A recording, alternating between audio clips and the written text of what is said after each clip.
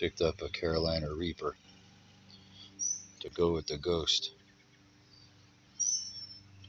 Ghost is getting bigger. Just planted the Reaper yesterday.